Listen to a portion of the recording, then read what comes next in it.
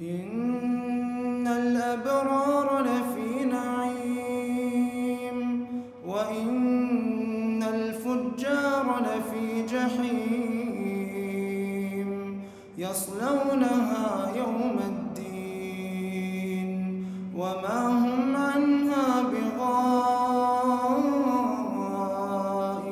بغائبين وما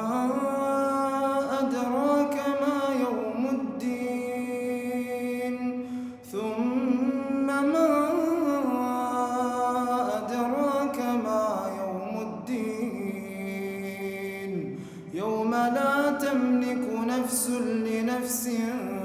شيئا والأمر يومئذ لله